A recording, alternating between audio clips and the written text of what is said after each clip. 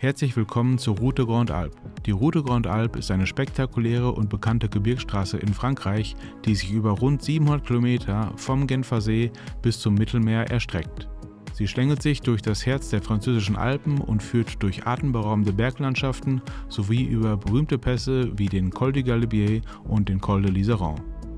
Die Route Grand Alpe verspricht eine unvergessliche Radreise voller alpinem Charme, Radsportflair und grandioser Ausblicke. Guten Morgen. Gestern sind wir noch den Col de la Bonette gefahren und heute tauchen wir tiefer ein in die Seealpen. Das ist der farbige Bereich hier unten auf der Karte. Man nennt es auch Meeralpen oder Voralpen von Nizza. Jedenfalls fahren wir heute den Col Saint-Martin und den Col de Torini. An dem Morgen sind wir in dem einfachsten Hotel unserer Reise aufgewacht und die Räder hatten über Nacht einen relativ kuriosen Stellplatz.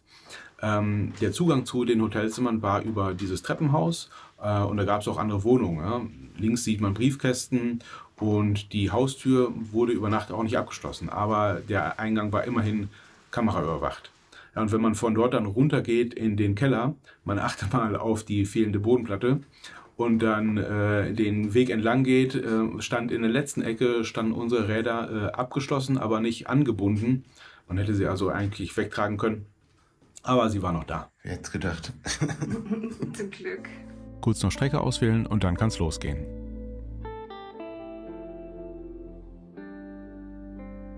Die Strecke des heutigen Tages blinkt hier rot und in der Nahaufnahme sieht das wie folgt aus. Wir starten in Saint-Sauveur-sur-Tinée und fahren dann zuerst auf den Col Saint-Martin und danach auf den Col de Torini. Mit 57 Kilometern ist es wieder ein sehr kurzer Tag, denn es geht entweder rauf oder runter und so kommen wir dennoch auf 2130 Höhenmeter. Immer wenn sich eine Radreise dem Ende zuneigt, verändert sich die Stimmung irgendwie. Die Vorfreude und Anspannung weichen dem Gefühl, dass es bald geschafft ist und etwas Leere macht sich breit. Ja, wir merken, dass wir so langsam ankommen. Die Stimmung ändert sich so ein bisschen.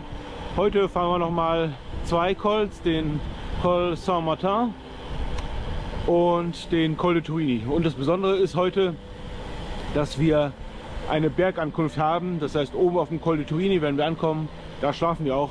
Da gibt es wohl eine super tolle Hütte mit ähm, ganz tollen Crepe und gut tollen Gastgebern. Wir rollen jetzt erstmal fünf Kilometer dieses Tal runter und dann zweigt die Straße links ab zum Col Saint-Martin.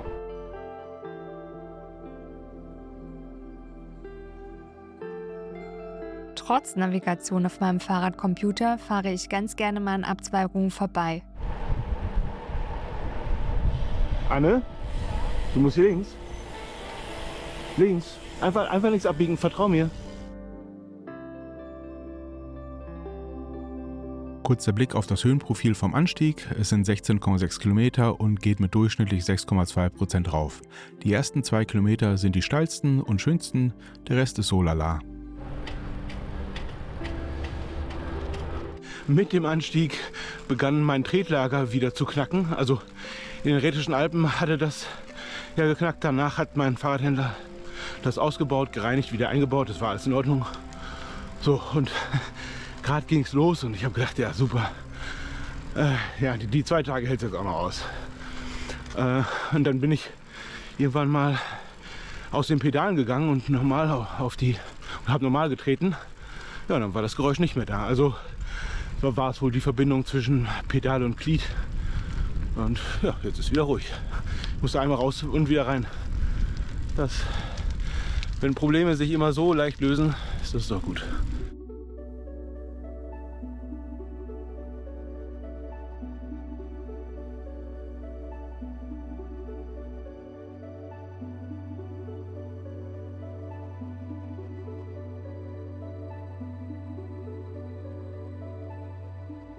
Jetzt dürften wir den steilen Bereich verlassen und ins Innere. Es sind noch 14,7 Kilometer und 930 Höhenmeter. Mario zwingt mich jetzt, diese Aufnahme zu machen. Ich habe heute Morgen keine Lust. Die Bergankunft freue ich mich, aber auf dem Weg dahin habe ich heute einfach keinen Bock. Mein Körper ist müde. und freut sich auf nicht mehr Fahrradfahren, sondern an Strand freut er sich und Nizza.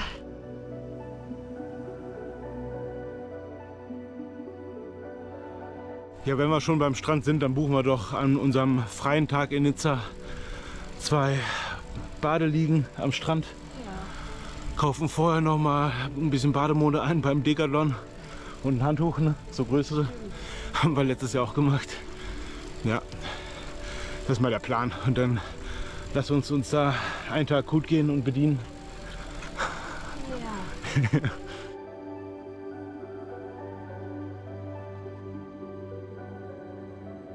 Ja, wir haben heute das erste Mal so ein paar Wolken, aber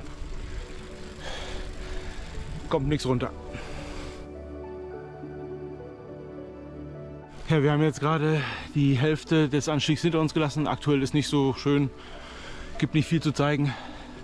Der untere Teil mit den steilen Passagen war schöner. Ja, wir rollen jetzt noch so drei Kilometer, glaube ich, und dann kommt das Frühstück.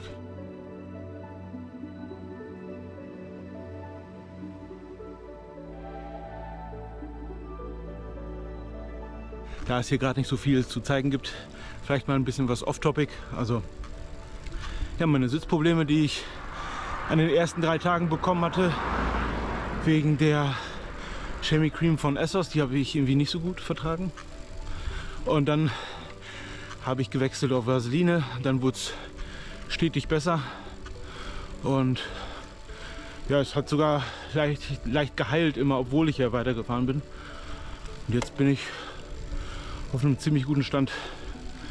Ja, nichts offen, nichts wirklich wund. Druckstellen ja, aber das, das passt so.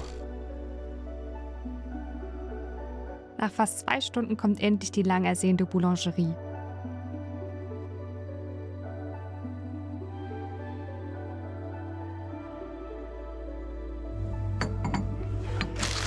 Wie ist das? Super.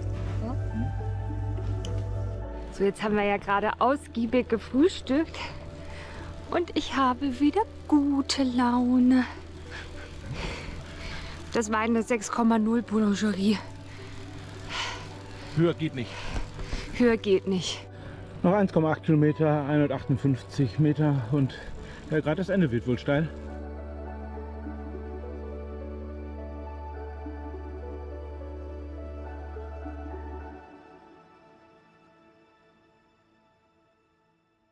Hier die Strecke vom Hotel bis zum Col Saint-Martin.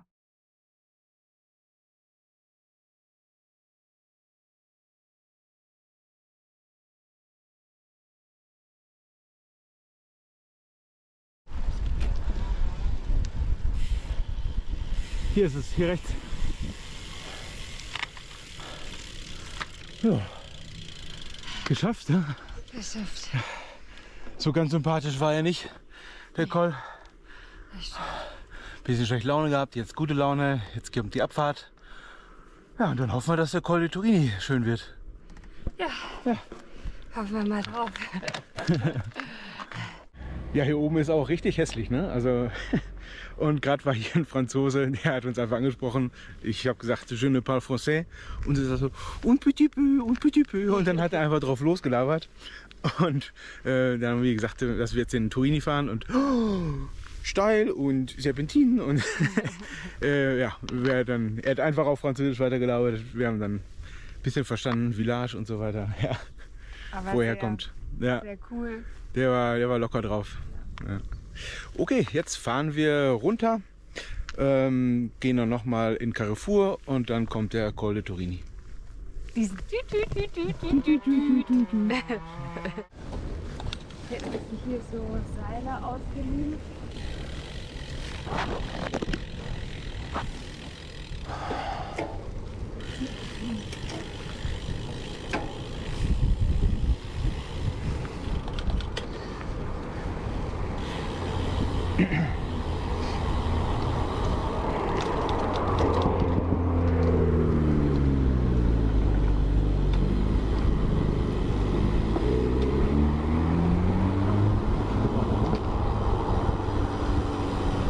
Schönes Auto eigentlich wohl. Der Alpin. Ja. Die Abfahrt ins Tal der Vesubie ist 17 Kilometer lang und es geht 900 Meter auf gutem Asphalt runter.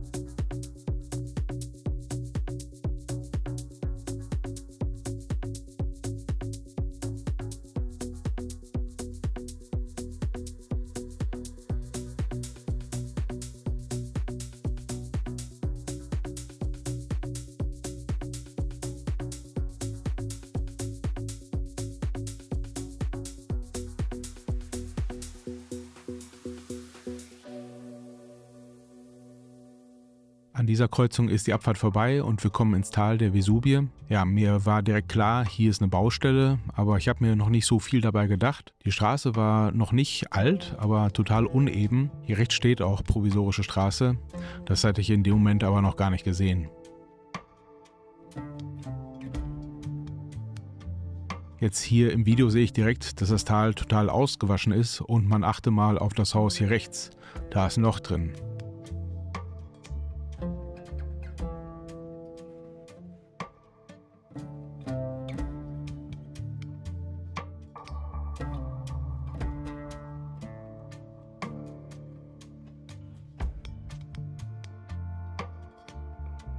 Spätestens hier mit der provisorischen Brücke wurde mir klar, dass der Fluss mal über die Ufer getreten sein muss und vieles weggerissen hat.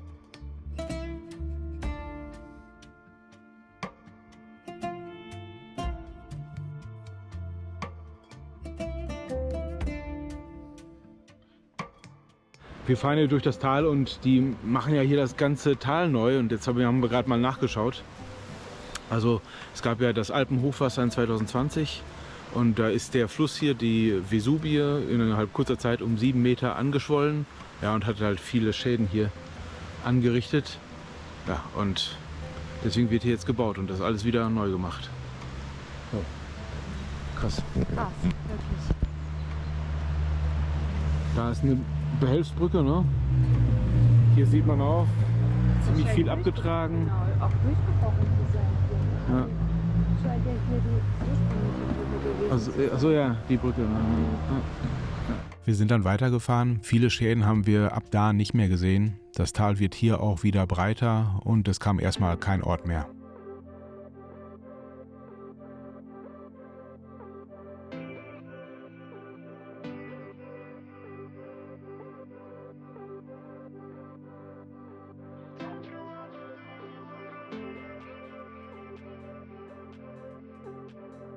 Hier die Abfahrt und Strecke entlang der Vesubie bis zum Carrefour.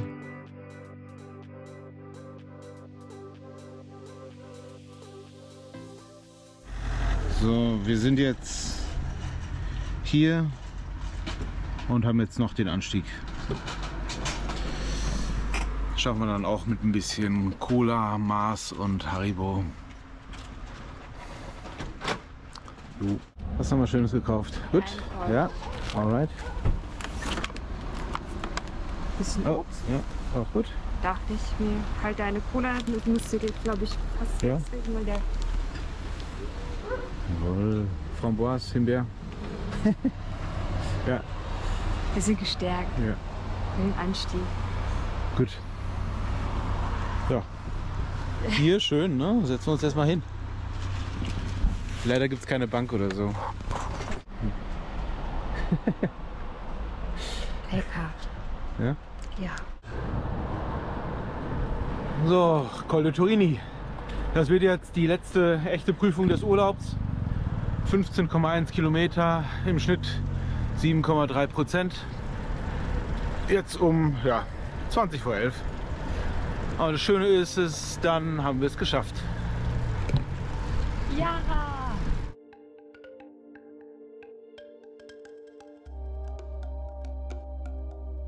Ja, der untere Teil ist noch gemächlich. Steiler wird es ab der Mitte und am Ende.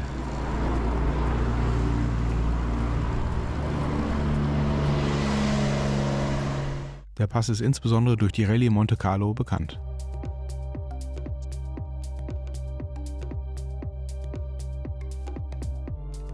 Ab hier wurden die Häuser deutlich mediterraner.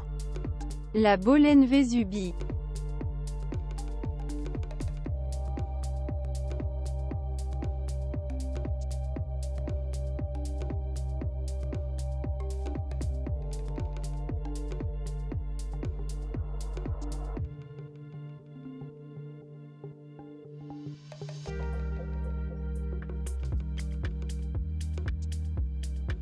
Ja, es gibt immer wieder mal Bänke hier so in Serpentin.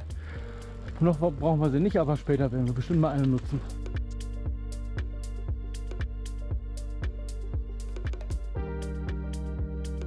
Wir haben jetzt gleich schon fünf Kilometer vom Anstieg. Das ist ein Drittel. Ging jetzt äh, extrem schnell, also und gut auch.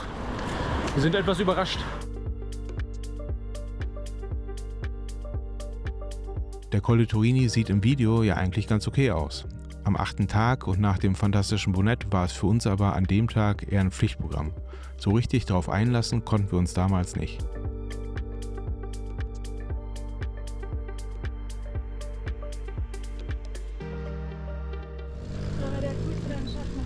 Ja, können wir machen. Das Super. war gerade ein Schattenplatz. Ja, super Schattenplatz. Ja, Tolle Aussicht. Trinkt mal ein bisschen was. Ja, und jetzt ist gleich 12 Uhr. Ich weiß nicht, wie viele Colts hatten wir zur Mittagshitze? Drei oder vier, so von 16, 17, ne? Ähm, ja, Aber hier ist es am ist halt gut. heißesten. Gut, dass wir die meisten Colts immer direkt morgens früh bei 10, 11, 12 Grad gemacht Ja. hatten. Eindeutig. Ja, also es hätte jetzt ähm, im September auch äh, kühler sein können, ne? aber wir hatten hier noch Vollsommer. Ist ja aber auch schön. Ja. Ist ja Sommerurlaub.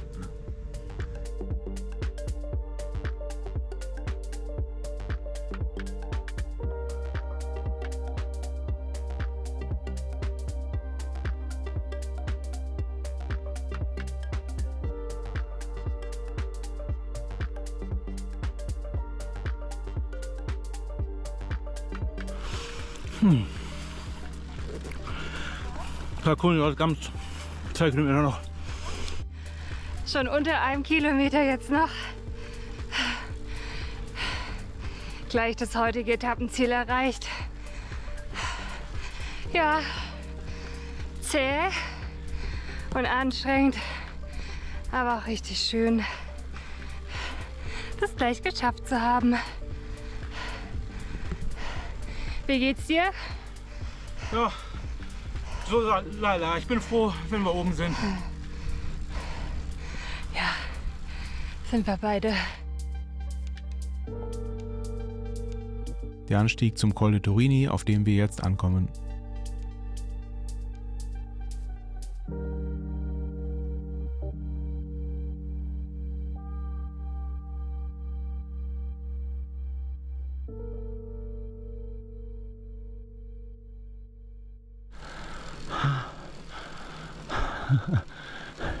Ja, das Col de Turini-Schild ist total pisselig da an diesem Zaun angebracht. Ah. Aber das sieht ja ganz einladend aus da, ne? Gut. Müssen wir uns mal entscheiden, wo wir hinwollen hier. Gut, also das Foto da so in der prallen Sonne vor diesem schönen Zaun wirkt nicht so richtig. Und ähm, ja, da sehen wir schon, denke ich, unsere Bleibe. Heute eine echte Bergankunft. Das erste Mal. Ja. Eine Bergankunft, voll cool.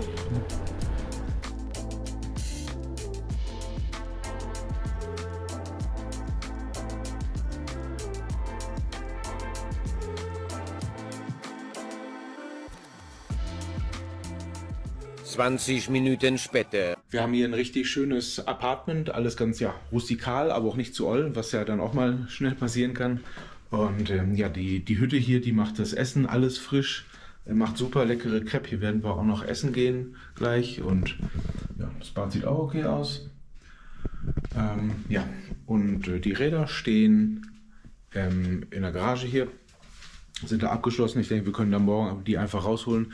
Ja, ich bin mittlerweile auch deutlich entspannter geworden, was die äh, Räder anbelangt, ähm, auch weil ich weiß, dass ich eigentlich dann nichts mehr machen muss, wenn wir ankommen. Es hat gereicht einfach an den beiden Pausentagen äh, jeweils die Antriebe zu reinigen und gestern habe ich einmal die Bremsen gereinigt. Ja, gut, also das war der Tag heute. Ähm, und Anna hat dann gleich nochmal einen Part und dann verabschiede ich mich schon mal und sage Tschüss bis morgen, wenn wir in Nizza und am Mittelmeer ankommen.